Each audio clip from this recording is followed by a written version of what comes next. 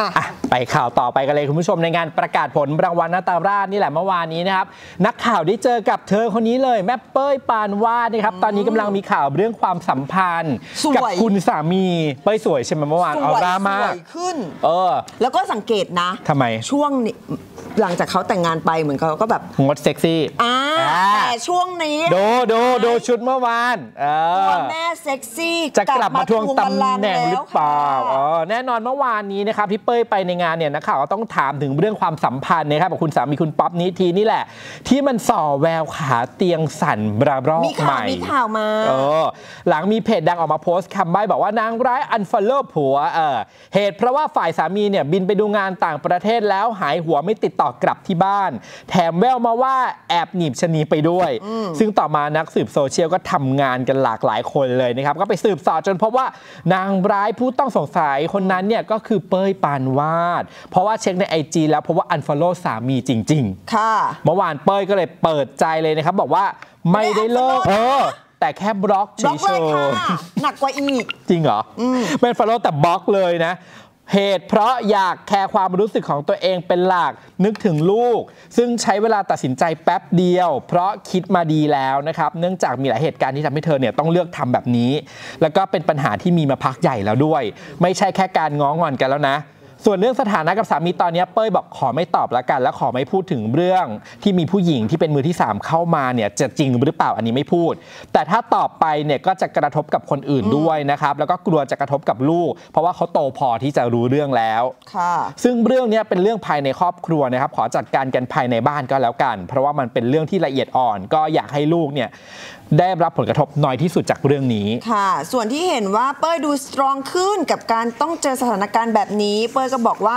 ผ่านอะไรมาเยอะ เชื่อว่าทุกคนก็คงรู้แล้วก็เคยเจอปัญหาเหล่านี้มาแล้ว ซึ่งถ้าจะต้องเจอครั้งที่หนึ่งครั้งที่สองครั้งที่สามก็ต้องควรคิดได้แล้วนะ ถามว่าณตอนนี้ทำไมเข้มแข็ง เป้ยก็บอกว่าไม่ได้เข้มแข็งหรอก เพียงแต่พยายามทำสิ่งที่ดีที่สุดเพื่อลูก เท่าที่แม่คนหนึ่งจะทำได้ ซึ่งก็อยากจบให้เร็วที่สุด ส่วนสภาพจิตใจตอนนี้เนี่ยก็มีความสุขกับทุกอย่าง ยังแข็งแรงอยู่ แล้วก็ขอบคุณทุกกำลังใจที่ส่งมา หลังจากนี้ก็ต้องหาเงินเลี้ยงลูกหรือขายของก็อยากจะให้ช่วยอุดหนุนแม่เป้ยกันด้วยนะคะอะฟังเสียงสัมภาษณ์ค่ะ ไม่ได้เลิกติดตามเขาเรียกว่าบล็อกบล็อกค่ะบล็อกที่เหตุผลบล็อกเพราะอะไรพี่เติ้ลไม่อยากเห็นไลฟ์สไตล์ไม่อยากจะติดต่อกันหรือยังไงคะคือบล็อกเพราะว่าเราต้องการดูแลจิตใจเราแล้ว ก็ protect ความรู้สึกของเรา นั่นแหละค่ะ มันเป็นการเตือนอะไรถูกไม่ได้เตือนค่ะ เรามีความรู้สึกว่า คือเราต้อง คือเราเอาจิตใจเราเป็นสำคัญอะนะ ถ้าเรา มันก็เป็นเรื่องธรรมดาอยู่แล้ว การบล็อกทุกคนก็รู้อยู่แล้ว ก็ก็แปลว่าอะไร บล็อกแป๊บเดียวเลยกดวินาทีเดียวก็บล็อกเลยก่อนจะบล็อกคิดหนักไปพี่เป้ยหรือว่ามีคิดดีแล้วค่ะ มันแปลว่าทุกอย่างมันก็ผ่านกระบวนการใช้เวลาอะไรหลาย ๆ อย่างแหละ มันก็มีหลาย ๆ เหตุการณ์ มันก็ถึงเลือกที่จะทำแบบนี้อะเนาะส ถานะตอนนี้ยังไงพี่เติ้ลหาแยกกันอยู่หรือว่าอยู่ด้วยกันเรื่องสถานะไปขออนุญาตไม่ตอบไม่ไม่ตอบเนาะเป้ยบอกว่าตั้งแต่วันที่เป้ยบอกอะค่ะ มันก็มีกระแสข่าวออกมาเยอะเยอะแยะรวมถึงเรื่องของผู้หญิงเข้ามาเกี่ยวมือที่สามยิ้มหวาน ขออนุญาตไม่ตอบค่ะนะคะแต่ว่าตรงนี้ขออนุญาตไม่ตอบดีกว่าเพราะว่าถ้าเกิดเป้ยตอบไปเดี๋ยวมันจะกระทบกับคนอื่นเนาะเออมันแต่ไม่ว่ามันคงไม่ดีของบุคค เอาเป็นว่ามันมันมีบุคคลอื่นเขาอยู่ด้วยอะค่ะ มันไม่ใช่แค่เรื่องเป้ยคนเดียว แต่วันนี้พี่เป้ยดูแข็งแรงมากกว่าดูสตรองเป้ยว่ามันมันมันมันเป็นจุดที่มันผ่านอะไรมาเยอะแล้วอะพี่ๆก็คงเห็นเนาะเป้ยวันนี้ก็ไม่เหมือนเป้ยเมื่อก่อนเป้ยก็พูดได้แค่นี้อะค่ะอ่าถ้าเรื่องบล็อกต้องแยกเนาะมันคือความรู้สึกของเราที่เรามีความรู้สึกว่าเราอยากปกป้องความรู้สึกของตัวเองอ่าส่วนเรื่องอื่นๆอะไรอื่นๆภายในบ้านเอออะไรอย่างเงี้ย แม่ล้วนๆเลยค่ะ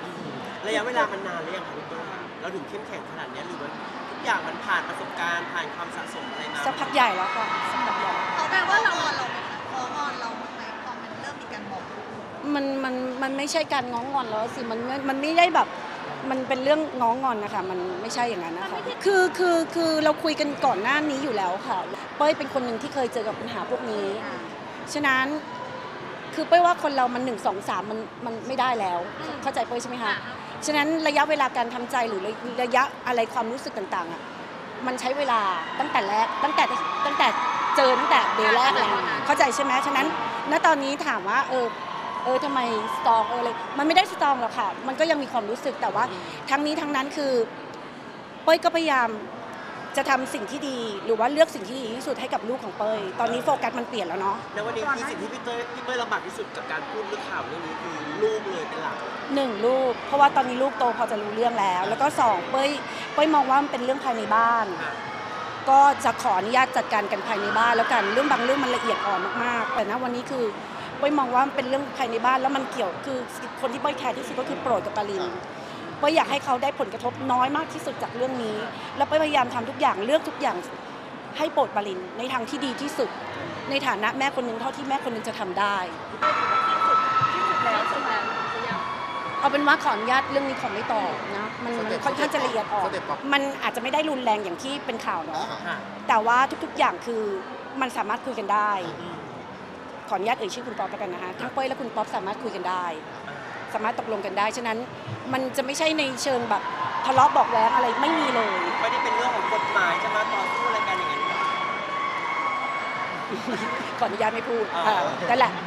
แต่ว่าเราคุยกันด้วยดีอ่าฮะเอาเป็นว่าอย่างนี้คือทั้งคุณป๊อปและเป้ยไม่ได้ทะเลาะกันอะไรเลยสำหรับเป้ยก็อยากให้มันเร็วที่สุดค่ะเป้ยมีความสุขและแข็งแรงดีค่ะเป้ยมีความสุขและแข็งดีแข็งแรงดี เลยขอบคุณมากๆเลยนะคะ ขอบคุณมากๆเลยก็หลังจากนี้เป้ยหาเงินเลี้ยงลูกหรือขายของอะไรช่วยอุดหนุนเป้ยด้วยนะช่วยด้วยกดไลค์กดแชร์กด subscribe ให้เป้ยด้วยนะเป้ยหาเงินให้ลูกตอบคนดูเยอะมากเออแล้วเป้ยขายอะไรช่วยอุดหนุนเป้ยด้วยนะคะ หลังจากนี้เป็นต้นไปเป้ยทำงานเพื่อลูกค่ะสถานะอะไรใดๆก็ต้องติดตามกันต่อไป แต่แม่เป้ยสวยมาก เมื่อวานนี้ตันอยู่เซ็กซี่แบบสุดๆหลังเวทีหลังงานอะเดินเดินๆอยู่เฮ้ยใครวะทำไมแบบ สว่างจ้ามากหันไปอเอาอร่าเป้ยเอออหุ่นเรายังแบบหุ่นเหินอ๋อสิเออเออเอาเป้ยนี่เอง ทวงบัลลังก์เซ็กซี่ตัวแม่นะคะ เออ เอาสิ